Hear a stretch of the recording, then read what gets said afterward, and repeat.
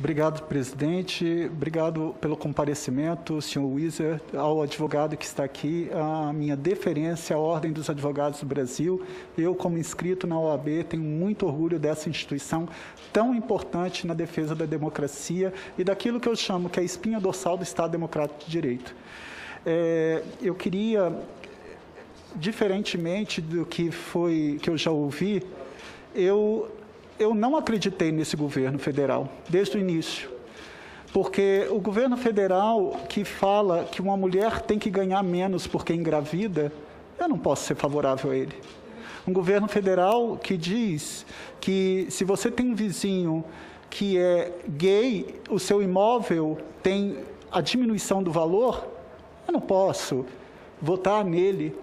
Um governo federal que diz que não corria o risco de ter uma nora negra porque os filhos foram bem educados, eu não posso votar nele. Essas pessoas que não são minorias, são maiorias minorizadas, têm que ter um amparo pela legislação. Agora, aqui eu quero também deixar claro para a população brasileira que essa CPI, senhora presidente, ela já provou muitas coisas. Ela provou, por exemplo, a difusão de tratamento precoce negou a ciência e a utilização de vermectina e hidroxicloroquina. Isso é crime de charlatanismo previsto no artigo 283 do Código Penal. Essa comissão também provou que houve uma ação deliberada para a chamada imunidade de rebanho. Isso é crime de epidemia qualificada com resultado morte, que dá uma pena de 20 a 30 anos, conforme determina o artigo 267, parágrafo 1 do Código Penal. Também provou aqui nessa, nessa CPI a existência desse gabinete paralelo. Isso é usurpação de função pública, prevista no artigo 328 do Código Penal. Provou-se também o crime de prevaricação, previsto no artigo 318. Na demora da compra da vacina, sobretudo da Pfizer. 101 ofertas e o presidente negou vacina aos brasileiros. A crise em Manaus, mais uma vez a prevaricação expressa no artigo 318. Quando você faz aí início, indício de irregularidades no contrato da Covaxin, nós temos ali o crime de corrupção passiva previsto no artigo 317 do Código Penal e, para o particular, o crime de corrupção ativa, previsto no artigo 333, que tudo isso, esses crimes, ambos, dão a pena de reclusão de 2 a 12 anos. Quando o presidente ele não utiliza máscara e difunde a não utilização do distanciamento social, isso é infração sanitária, é uma medida de infração sanitária preventiva previsto no artigo 268.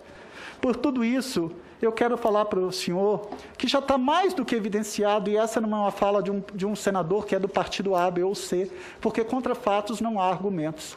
A digital do presidente da República e dos seus ministérios, e quem de qualquer forma concorreu para esse agravamento da pandemia, de 516 mil famílias, 119, que estão enlutadas, quanto que vale a vida de um pai, de uma mãe, de um filho, de um irmão, de um sobrinho, estão na digital, essa digital está no, no presidente da República e nos seus ministros de saúde está no ex-chanceler do, do, Ministério das Relações Exteriores, está em quem de qualquer forma concorreu para o agravamento, seja título de dolo, seja título de culpa, seja título de ação, seja título de omissão, porque a omissão é penalmente irrelevante quando a gente tenha, por lei, obrigação de proteção, vigilância e cuidado. Então, isso para mim já está mais do que evidenciado. Mas o que mais me chamou minha atenção aqui hoje, senhor Wizard e senhora presidente, eu vou falar para vocês é que o senhor afirmou aqui hoje, nas poucas palavras que o senhor deu, que respondeu ao convite do ministro Pazuello com as seguintes palavras. Olha, essas, essa palavra que eu vou falar aqui é do senhor, senhor Wizard. Aspas. Quero servir como voluntário, sem qualquer vínculo com a administração. Fecha aspas. Aqui, eu não tenho dúvida, e falo como delegado de polícia, por 27 anos. Isso é uma confissão de culpa. E eu vou falar por quê. A Lei de Improbidade Administrativa, que é a Lei 8429 de 1992, conceitua o que vem a ser agente público. E quem que é agente público no Brasil? Aspas. Todo aquele que exerce, ainda que transitoriamente ou sem remuneração, por eleição, nomeação, designação, contratação ou qualquer outra forma de investidura ou vínculo, mandato, cargo, emprego ou função das entidades mencionadas no artigo anterior.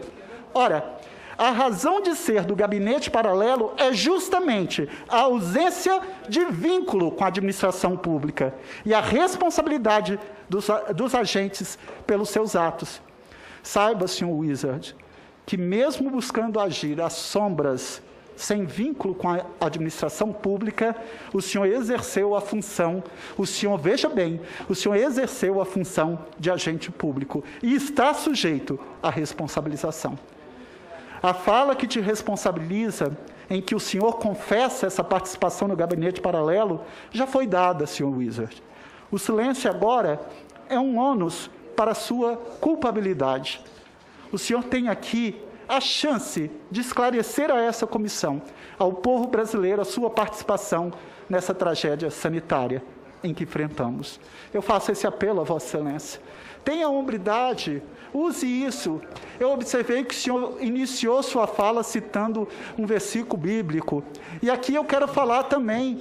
No mesmo instrumento eu vou falar, não como senador agora, aqui tão somente, mas também como um cristão. Que em Lucas 21, 15 diz: Pois eu lhes darei palavras e sabedoria a quem nenhum dos seus adversários será capaz de resistir ou contradizer. Ele lhe dará a palavra para que ninguém possa te contradizer. Exerça o seu direito, exerça isso, fale.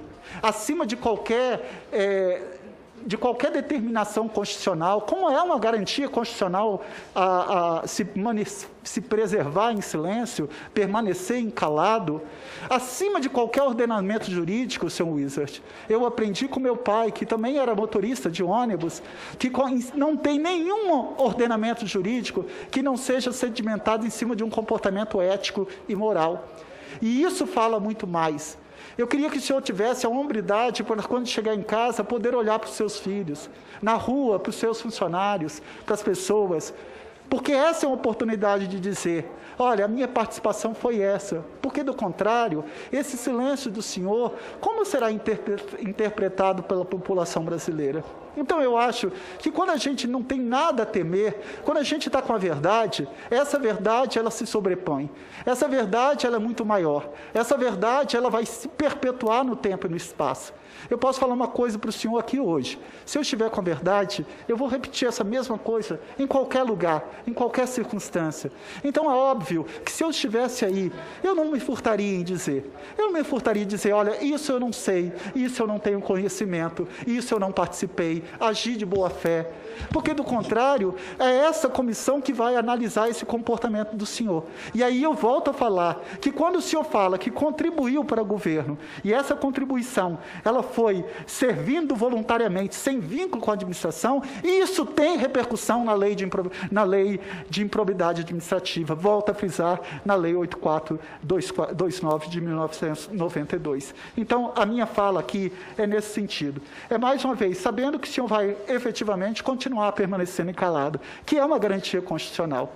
Mas eu volto a falar que não tem nenhum ordenamento jurídico, nenhum, nenhum, nem mesmo a Constituição Federal, que seja sedimentada se não for em cima de um comportamento ético e moral. E o comportamento ético e moral é que nos proporciona a falar a verdade e doa quem doer.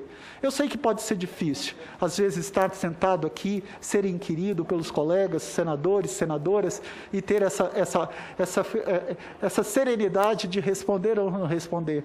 Claro que esse respeito nós temos que tratar todas as pessoas. Eu, por 27 anos como delegado, eu sempre tratei com respeito o pior, a pessoa que eu estava indiciando, porque eu aprendi que essa é a premissa constitucional.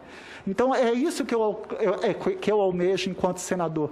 Que nós tenhamos efetivamente um, social, um Estado democrático de direito que se valorize as instituições. Mas eu não posso deixar de fazer esse esclarecimento ao senhor, que veio com, com um versículo bíblico e que eu lhe digo que isso também tem como o senhor falar quando o senhor está diante da verdade, com esse comprometimento com a verdade, olhando para a sua família, para os seus filhos e assim sucessivamente. Então eu vejo que o senhor pode sim é, ter uma, uma, um comportamento mais proativo em defesa, como muito foi bem dito aqui, da população brasileira. Porque nós estamos falando aqui da violação do principal bem jurídico, que é a vida humana. Olha, eu, eu aprendi isso no banco da faculdade, mas isso tem que ser dito a todo mundo, a todo momento, em qualquer lugar. Por que, que no Código Penal o abre alas vem nos crimes contra a vida? Porque o principal bem jurídico que tem que ser protegido é a vida humana. Então está sendo agravada essa, essa, essa pandemia que está aqui, com 516 mil mortes, 119 pessoas que perderam a vida. Isso não tem dinheiro que pague. Isso não tem dinheiro que pague o luto dessas famílias. E não só delas, porque as pessoas que sobreviveram estão com sequelas irreparáveis. Mas nós não podemos deixar de reconhecer que esse governo acreditou na imunidade de rebanho, acreditou no tratamento precoce, difundiu a utilização de medicação sem nenhuma comprovação científica, nega a ciência e e é contra o distanciamento social, é contra a utilização de máscara, recusou 101 ofertas da Pfizer, e o mesmo governo que faz um contrato para Covaxin com mil por cento acima daquele valor, sem autorização da Anvisa. É o governo que, a pretexto de retardar, sempre falou: olha, preciso da autorização da Anvisa, mas para essa específica, Covaxin, não, não, não, não houve a necessidade. E aí, quando eu vejo pessoas como o senhor, que fizeram parte, direta ou indiretamente, desse, desse cenário dantesco, porque não há que se falar, como foi dito aqui, essa CPI provou que os ministros não tinham autonomia no Ministério da Saúde, porque existia ali a existência do gabinete paralelo. Isso é grave. Isso é usurpação de função pública. Isso tem que ser coibido. Agora, eu não tenho. Eu saio daqui hoje com minha consciência tranquila, como cidadão, como senador, de que eu vim aqui preparado para te inquirir, para te perguntar, para que o senhor tivesse a oportunidade de falar efetivamente qual foi a participação do senhor nesse, nesse cenário, quando é, é, teve o, com, o, o compromisso de participar, de servir como voluntário como o senhor bem disse, sem qualquer vínculo com a administração pública. Eu não tenho dúvida que, para mim, isso é uma confissão de culpa, volto a frisar, porque a lei de improbidade administrativa é clara. Todo aquele que exerce, ainda que transitoriamente sem remuneração, ele é considerado agente público. E isso o senhor confessou aqui. E nessa simples confissão, o senhor tem a atribuição, que agora só vai ser analisada a culpabilidade a culpabilidade como pressuposto de aplicação de pena para o cometimento de, da, lei, da violação da lei de improbidade administrativa. Muito obrigado, senhora presidente.